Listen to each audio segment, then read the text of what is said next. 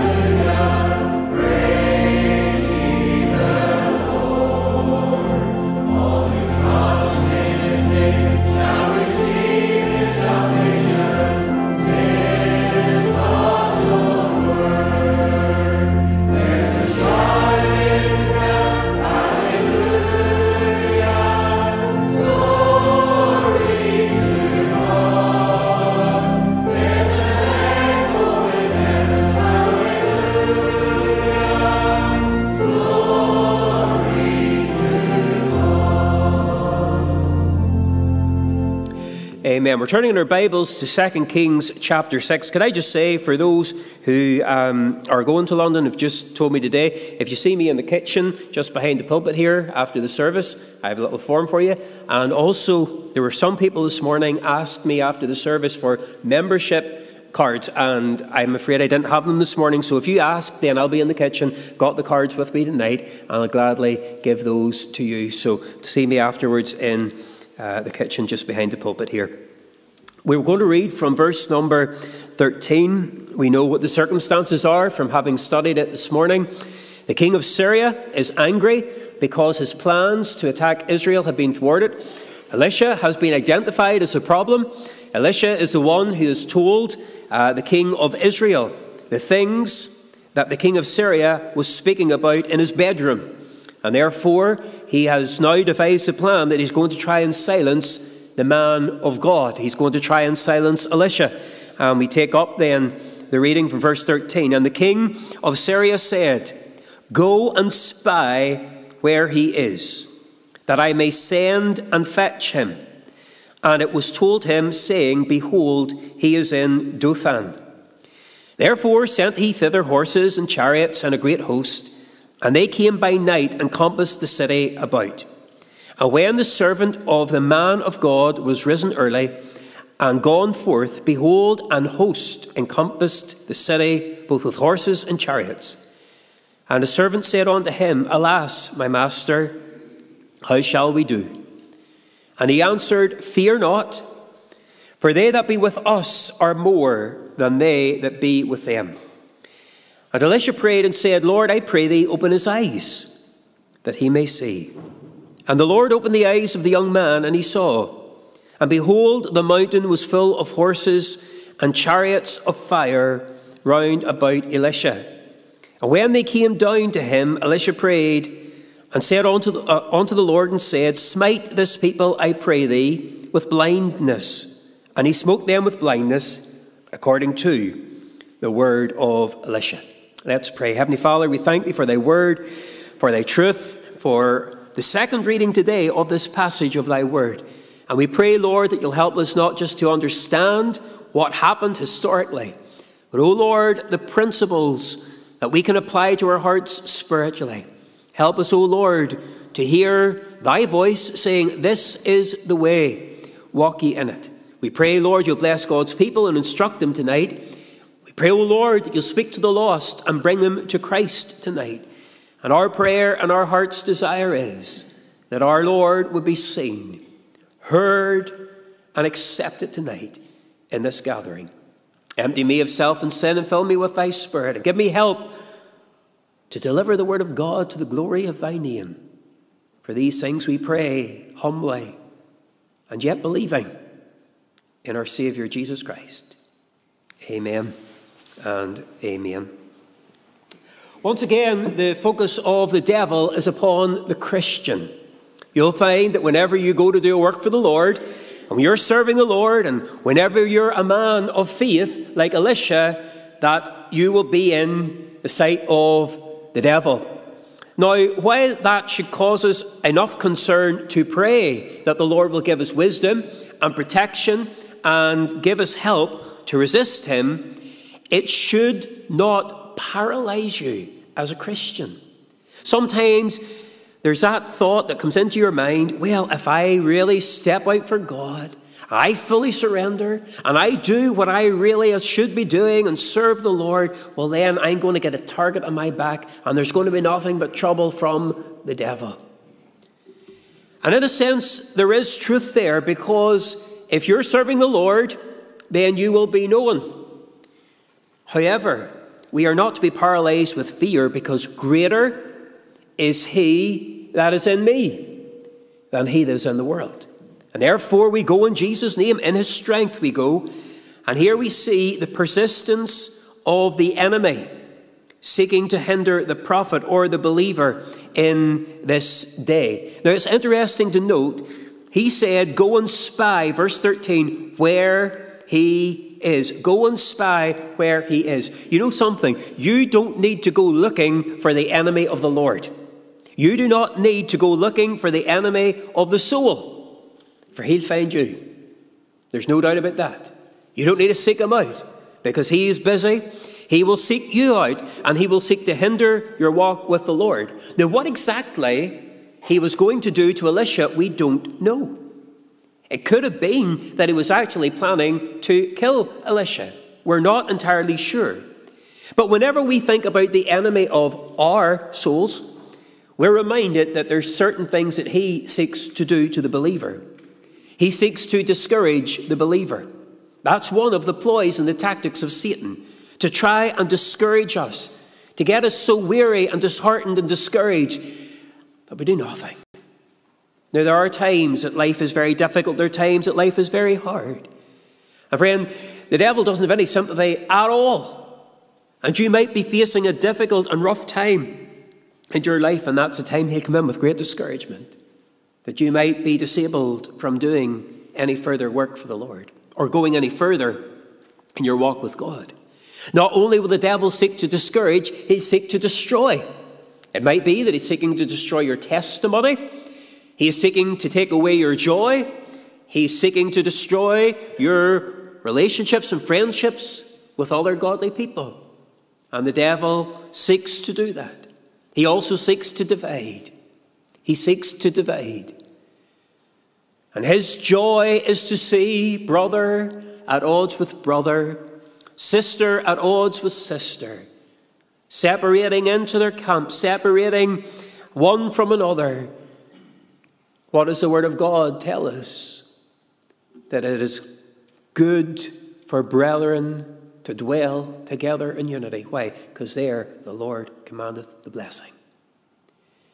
And I say to you, dear believer, if there is something between you and another brother or something between you and another sister, put it right. Don't miss out on the blessing of God because the devil's got a hook on you or a hold on you and there's bitterness creeping in. Praise God. There is victory over discouragement. There's victory over the attacks of the devil seeking to destroy us. There's victory over division. There's reconciliation, and we can be reconciled in Christ, and that's what we need to be. And therefore, you don't need to go looking for the enemy, just like Elisha, the enemy, came looking for him. And then in verse number 14, it says, Therefore sent he thither horses and chariots and a great host, and they came by night and compassed the city about. Here we have the weapons of war being gathered. Have you ever stopped to think, how many people were they coming for? How many people did they want? One. They wanted Elisha.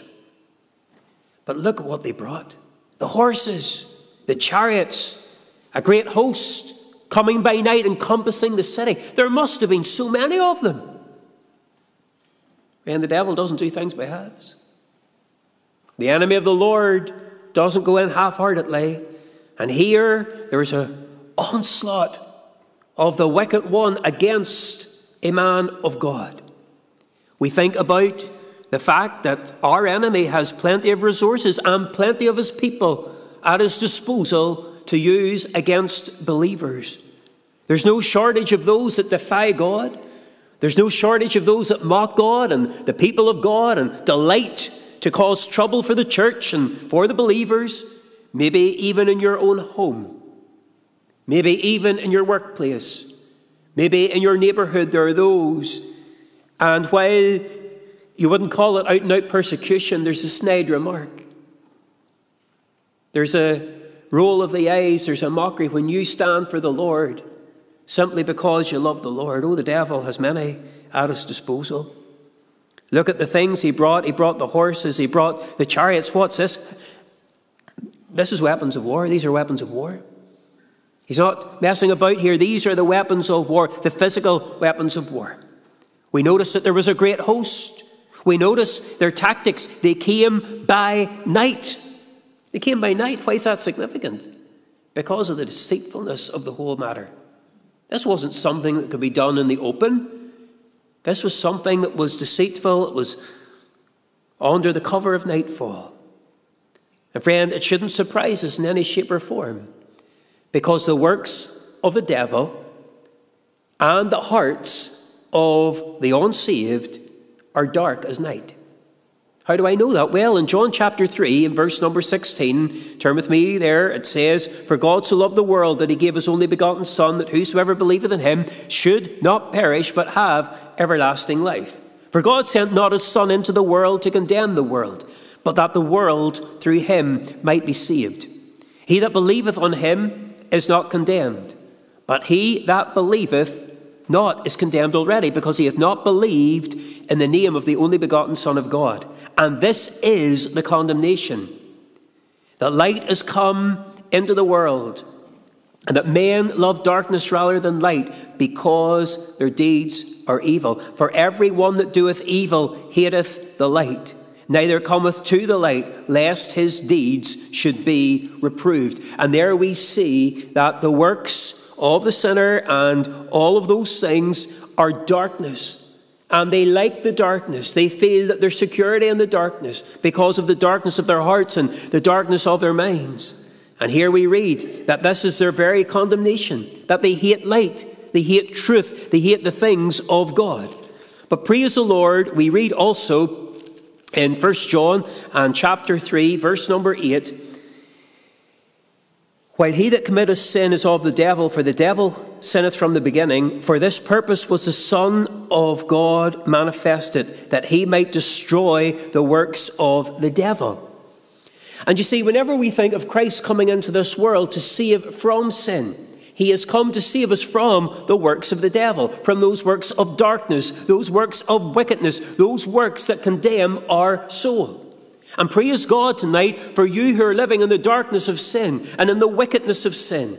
and in the ugliness of sin, praise God, there's deliverance for you. Why? Because God so loved the world, He gave His only begotten Son. That's the message that the Lord Jesus Christ was proclaiming to Nicodemus that night whenever He explained about men loving darkness rather than light.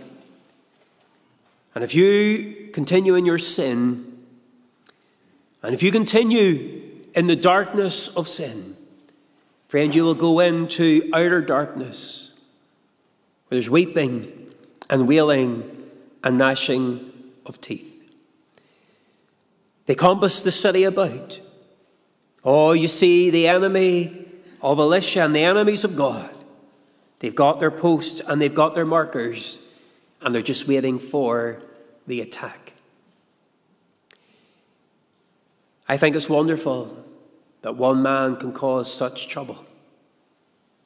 One man can shake the enemy. The hymn writer William Cowper wrote these words What various hindrances we meet when coming to the mercy seat. But who that knows the worth of prayer but wishes to be often there? Prayer makes the darkened clouds withdraw. Prayer climbs the ladder Jacob saw, gives exercise to faith and love, brings every blessing from above. Restraining prayer, we cease to fight. Prayer makes the Christian's armour bright. Listen to these words. And Satan trembles when he sees the weakest saint upon his knees. And Elisha had been on his knees with God. And God had blessed Elisha. And God had uh, defeated the plans of the wicked one because of Elisha. And here we have an army because of one man. Friend, what would it be if the ones and the twos came together and sought the Lord? Oh, we ought to be making hell tremble in our prayer meetings. We ought to be making hell tremble on a daily basis as we get before God. Surrender ourselves afresh. Pray for the needs of the land, for our church, for our homes. And as I thought about this verse and this man, he's wasting no time. He sends the enemy in to attack the man of God. Time is short, isn't it? We're nearer the return of the Lord than we've ever been before. And the devil is busy, busy making plans, busy making plans that will thwart the people of God and the work of God. Whenever we come to verse 15, what happens? We see that the servant of the man of God was risen early and gone forth, and behold, an host encompassed the city, both with horses and chariots. And a servant said unto his, him, Alas, my master, how shall we do? Now, it's interesting to note here that this was a new servant. This wasn't Gehazi, who was the wicked servant, the servant who lied, and the servant who took what he shouldn't have taken. But this was a new servant. In fact, in verse number uh, 17, he's called a young man. The eyes of the young man were opened. And therefore, this was a young man. He wasn't long into his training, he wasn't long into his work of serving Elisha. And perhaps because of that, he had yet to see Elisha do some great miracle. So whenever he came out and he looked around, what he saw frightened him. He was troubled by what he saw. And that's a human reaction. Whenever we see things that are out of our control, whenever we see things that seem to be against us, then we are fearful. You see, as he looked out, he knew who those people were. Most likely their banners displayed who they were. And as he looked out, he knew that the king of Syria was coming, or certainly his army was coming, that there was a real threat to Elisha's life, possibly to his as well, possibly to anybody who tried to stand in the way. And that's maybe why they had so many people coming against Elisha in case people tried to protect him.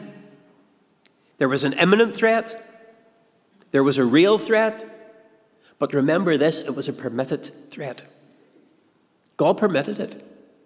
God allowed this to happen. And we know by the words of the young man and by the response of Elisha that this man was afraid.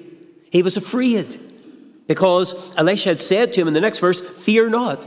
And he said, Alas, my master, how shall we do? He was worried, worried over what was going to happen. Friend, is there someone tonight in this meeting a child of God, and you're looking at the world tonight, you're afraid. Maybe you're looking at circumstances in your home, and you're afraid. Maybe it's your health. Maybe it's an attack of the evil one. Maybe it's something that you've been praying for and praying for and praying for, and it hasn't come. And your heart's fearful that the Lord will not fulfill that promise. This was a dark moment for this man. This was a real moment. This was genuine trial. It presented genuine danger. And praise God. Praise God, there's a word in Scripture for those who lift their eyes and see the wickedness of man. Let's be honest tonight. Wickedness is rising. The influence of the ungodly is growing in our land. What was once abhorred is accepted. And now we're being forced and told that we must not only accept it, but celebrate it. And we see wickedness being exalted and promoted, and if we're honest, being successful. Being successful to a certain degree. And we look around and we see great darkness on every hand. But I rejoice that God has a word for such times. God has a word for such times. Turn with me to Psalm number two. Because in Psalm 2, we read really a commentary. It could be a commentary, I suppose, in 2 Kings chapter 6. It could be a commentary in our day. Why do the heathen rage and the people imagine a vain or an empty thing? The kings of the earth set themselves, and the rulers take counsel together against the Lord and against his anointed, saying, Let us break their bands asunder and cast away their cords from us. Read these words He that sitteth in the heavens shall laugh the Lord shall have them in derision. And friend, maybe in your heart tonight there's fear, panic. You're even tempted to think, is this supposed to happen? Does the Lord really know what's going on? Let's enter into the throne room of heaven tonight. There's no panic there. No one's flustered in glory.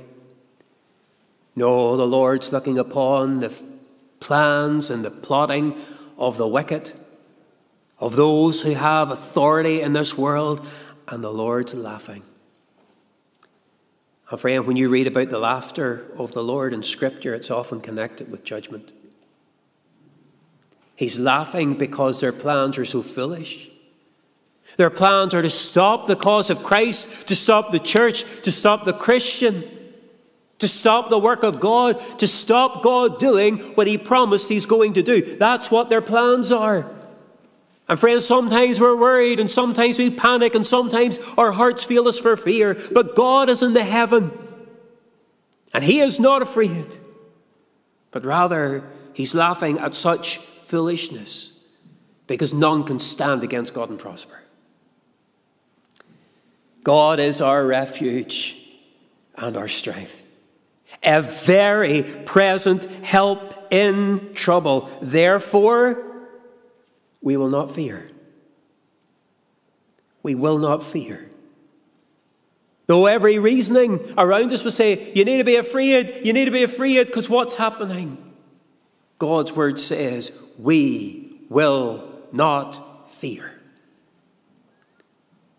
And that's exactly what Elisha said to his young servant. Because we come to verse number 16, and he answered, Fear not. Fear not. Are there any sweeter words to hear in a time of trouble than the words of the voice of God saying, Fear not. Fear not. And friend, not only does Elisha give the command to fear not, and if that's all he said, that would be enough. But he gives the reason why we ought not to fear. He gives the explanation. He backs up his command with the reasoning For they that be with us are more than they that be with them. Now, that man is standing that day and he's looking around. And according to his calculations, there's one, two people here, and a host encamped around about us. And humanly speaking, it looks very bleak. But listen to what Elisha says For they that be with us are more than they that be with them. And I'll tell you, you need to be sure tonight that you're on the Lord's side. You're on the winning side. You're on the victory side. You're on the side that's marching to heaven and to home. You see, there are many people in this world tonight, and they take great comfort in the fact that they are in the majority. The majority that aren't saved. The majority that don't go to church. The majority that mock the things of God. The majority that live whatever way they want to. And that's their comfort. Well, everybody else is doing it. I'm just like everybody else. But, friend, you see, whenever you stand before God, you'll not stand with the crowd. And you'll not stand with people mocking and sniggering and laughing and urging you on to be a fool. But you'll stand before God and the host of heaven and give an account of the life that you have lived. I'd rather be numbered among the people of God than with the majority that are going to hell. I'd rather be mocked by the millions than rejected by my Christ. Now, I'll tell you, looking at that, humanly speaking, it seemed that the enemy had the upper hand. But they hadn't reckoned on the fact that our God's a great God. He is an almighty God. And there is nothing too difficult for him. There's no one too hard for him. And friend, if you're on the Lord's side tonight, then there's no reason for you to fear. I want to simply read through a few verses that say, Fear not, from Genesis right through to Revelation. If you want to take a note of these references, please do. Genesis 15, verse 1. After these things, the word of the Lord came on to Abraham in a vision, saying, Fear not, Abram, for I am thy shield and thy exceeding great reward. And what is the Lord saying there? Do not be afraid, for I will protect you. And I will provide everything that you need. And friend, tonight, if you're not saved, you need the protection of God through the blood of the Lord Jesus Christ for the day of judgment. And praise God, everything you need, He will supply through Christ. Deuteronomy 31, verse 6, before they went into the promised land, hear these words Be strong and of a good courage. Fear not, nor be afraid of them, for the Lord thy God, he it is that doth go with thee. He will not fail thee, nor forsake thee. And friend, that promise is still true today. Do not be afraid of the enemies of God. Do not be afraid, for the Lord your God, he it is that doth go with you. He will not fail thee, he will not forsake thee. Remember being taught in the Bible class in this very church one with God as a majority. One with God as a majority. We think of uh, Isaiah 41, verse 13 For I, the Lord thy God, will hold thy right hand, saying unto thee, Fear not, I will help thee. Fear not, thou worm Jacob and ye men of Israel. I will help thee, saith the Lord, and thy Redeemer, the Holy One of Israel. Your Redeemer, the one who bled and died for you, says, I will help you. Friend, God will personally help his children tonight. Isaiah 43 Fear not, for I have redeemed thee. I have called thee by thy name, thou art mine. When thou passest through the waters, don't stand surprised that their waters to pass through or fires to walk through. But when thou passest through the fire waters, I will be with thee. And through the rivers they shall not overflow thee. And when thou walkest through the fire, thou shalt not be burned, neither shall the flame kindle upon thee. For I am the Lord thy God, the Holy One of Israel, thy Saviour. Joel chapter 2, verse 21 Fear not, O land, be glad and rejoice, for the Lord will do great things. There's a promise to claim tonight. Don't be afraid, but rather praise God. Be glad and rejoice in Him. Lift up the victory song as if the battle was already won because we can be sure it will be. The Lord's going to do great things. Among whom? Among a praising people. Among a praising people. Don't you be some miserable, discouraging, downhearted, always pessimistic person and then wonder why there isn't a mighty work being done. And praise the Lord. Give him the victory, give him the honor, give him the praise and glory that's due to his name. And praise God, he will do great things. In Luke 12 and 32, fear not, little flock, for it is your Father's good pleasure to give you the kingdom. God can work among the ones and the twos as well as the hundreds and the thousands. And I say it from Genesis to Revelation. And can I just say, there are many, many, many more times in Scripture the words fear not or uh, appear, or fear ye not, or be not afraid. Revelation 1, verse 7 And when I saw him, that is Christ, I fell at his feet as dead, and he laid his right hand upon me, saying unto me, Fear not, I am the first and the last. And friend, whenever we stand before our Saviour, the only way we can stand and the only way we can stand with joy is whenever He says, Fear not. Fear not. Because the Bible tells me about those who stand without Christ, and their hearts will fail them for fear. They'll call on the rocks and the mountains to fall upon them. And having given, given this command to fear not, Elisha prays. Verse 17 Lord, I pray thee, open his eyes that he may see. And the Lord opened the eyes of the young man, and he saw. And behold, the mountain was full of horses and chariots of fire round about Elisha. He prayed that God would give spiritual vision. And I believe we need that in these days. Spiritual vision is clear when the heart is in tune with God. But I'll tell you, whenever someone starts to backslide and grow cold and forget who they are in Christ and forget to humble themselves, then that spiritual vision becomes distorted. It becomes distorted. And whenever we look at this prayer, it was a prayer that the Lord would open this man's eyes. Do you, do you pray that whenever you come to the Word of God? Open my eyes, Lord. Help me to see the promises and the provision and the power that you promised to me in this book and this Word. Because that's exactly what this man saw. He saw the provision of God. Oh, most could not see. But Elisha and this young servant saw that the mountain was full of horses and chariots of fire round about Elisha. And you know what that teaches me? The enemy could not have the victory over this child of God. He was protected. God had provided for him. God had given him spiritual protection. There was power here. There was spiritual power here. And God was going to deliver him.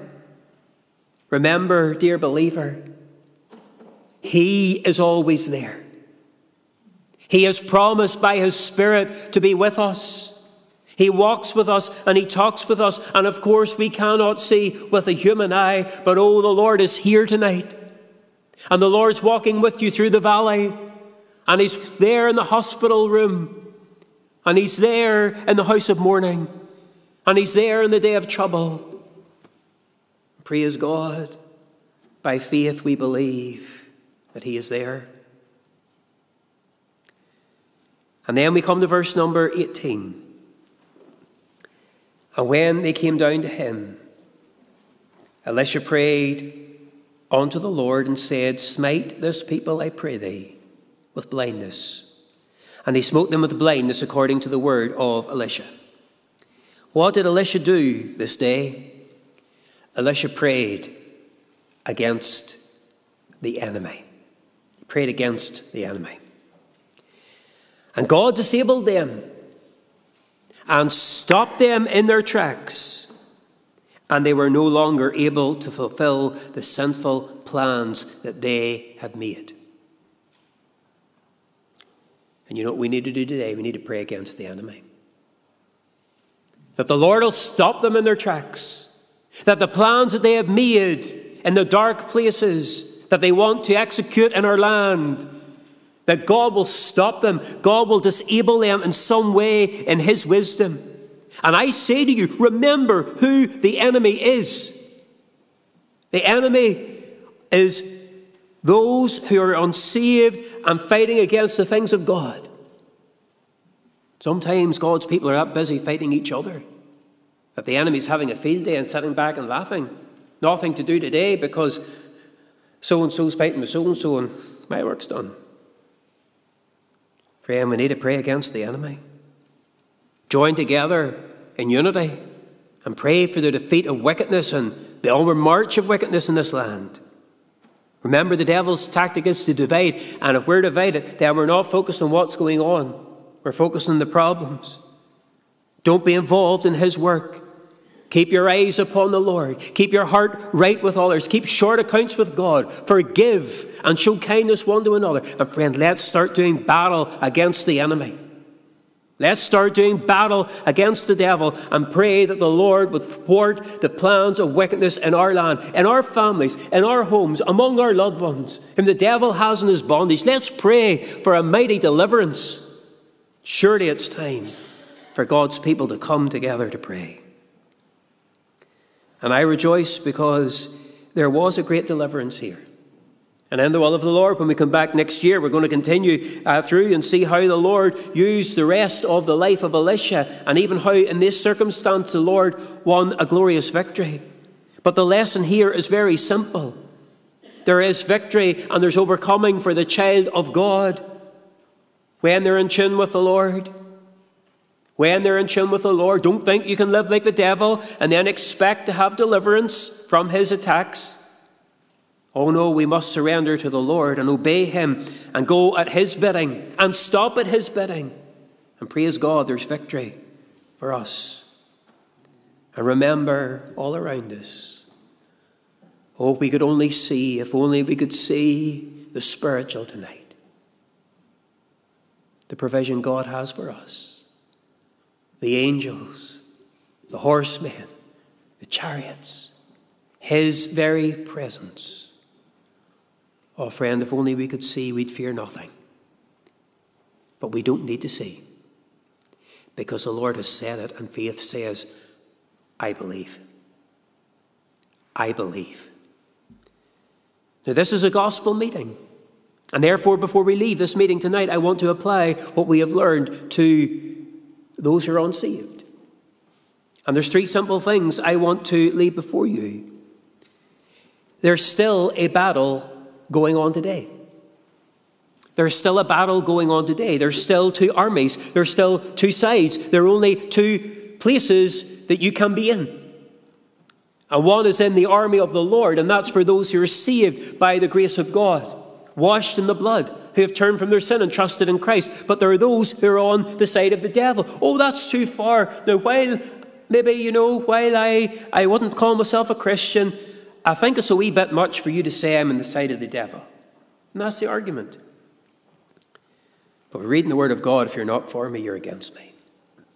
There's only two sides. You see, there's only two destinations. You're either on the devil's side, which we're all born into, by the way, we're born as enemies of God, or you're either saved and a soldier in the army of the Lord. Can I ask, what side are you on? What army are you in? At the end of the march, where will you be found? Second thing I want to say to the unsaved is that we pray, and we pray tonight in the meeting beforehand.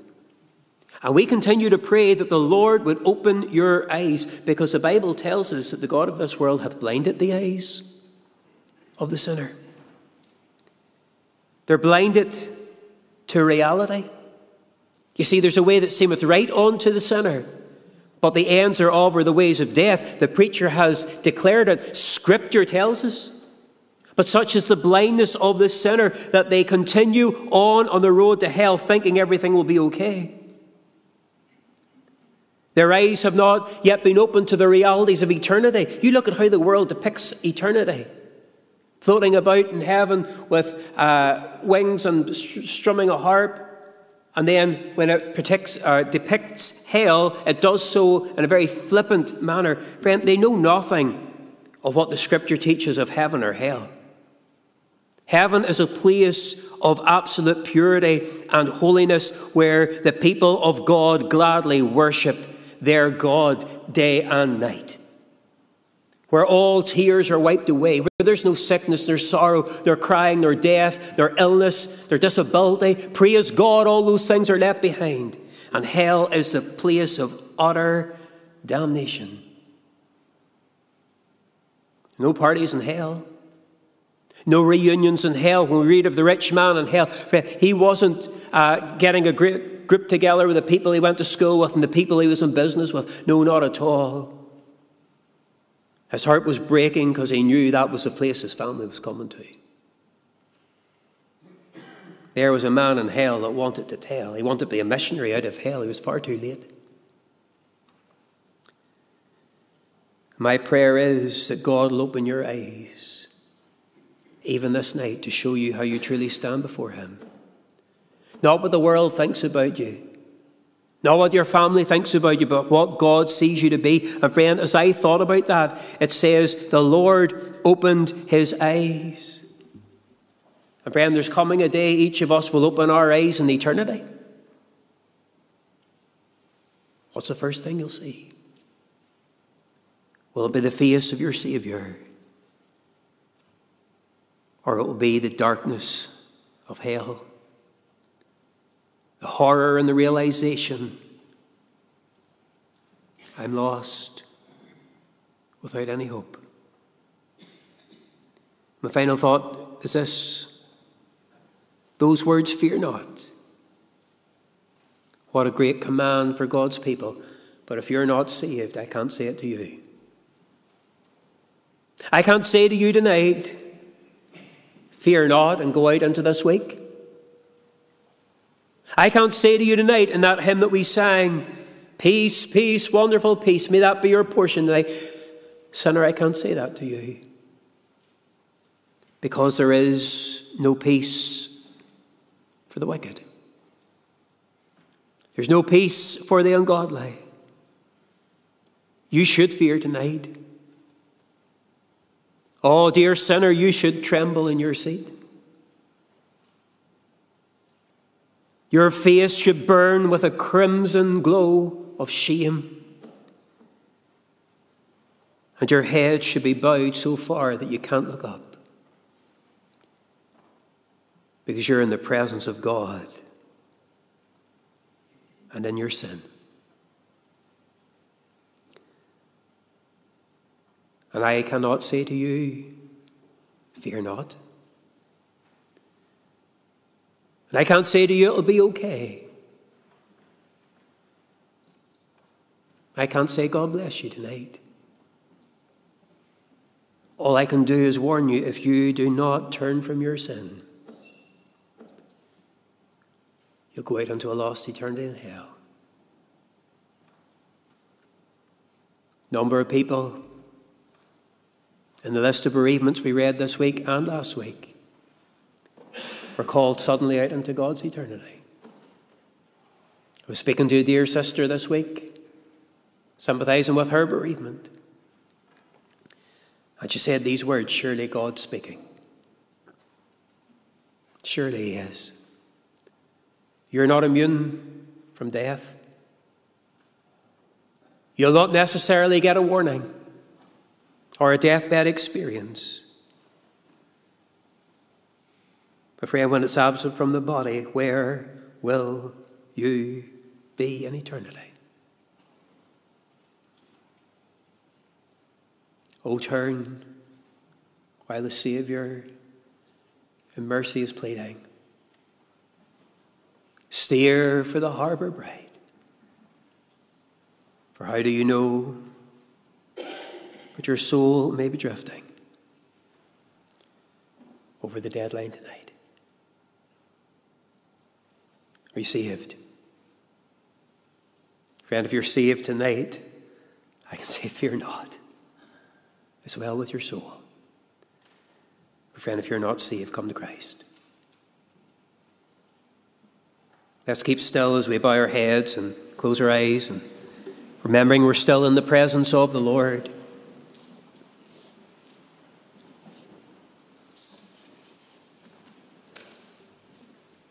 We haven't time to sing our final hymn, but it will be played on the way out. But I'll read just one verse. O sinner, thine ears have been deaf to his voice, thine eyes to his glory been dim. The calls of thy Saviour have so wearied thee. O what if they should weary him? O sinner, God's patience may weary some day, and leave thy sad soul in the blast. By wilful resistance, you've drifted away over the deadline at last. It's not that there isn't a Saviour. It's not that there isn't an opportunity. It's not that there isn't blood that can save you and clean. But it's that you won't come. Will you come tonight? Is there one in this gathering? And you need to be saved. One in this gathering, and you know the Lord speaking to your soul. Will you trust Him now? Will you call upon Him? Will this be the night you close in with Christ? Come now. Come now and call on the Lord. And if you've done that, let me know. I'd love to speak to you about going on with the Lord. Maybe you need more help. Maybe you need to speak. Let that be known after the service. I'll take as long as I need. A friend, don't leave without Christ. Dear listener on the internet, don't go away without Christ. This might be your last moment. This might be your last opportunity. Come to Jesus. Heavenly Father, we thank Thee for Thy stillness tonight. We realize we're in the presence of a thrice holy God. Lord, you know all about us tonight. We can hide nothing from Thee. You know our thoughts, you know our heart. Lord, you know our very intentions in this moment. And we will be fearful lest someone in this meeting has already decided that they're going to walk out without Thee. Lord, I pray that tonight Thou wilt be merciful.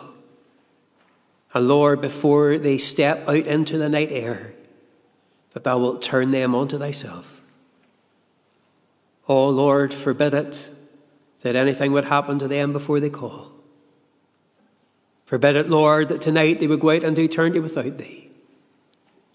But pray, Lord, that they get the matter settled. Oh Lord, move, we pray. This work man cannot do. But Lord, speak with a voice that wakes the dead and make the people here tonight. We ask these things in Jesus' name for his glory alone. Amen.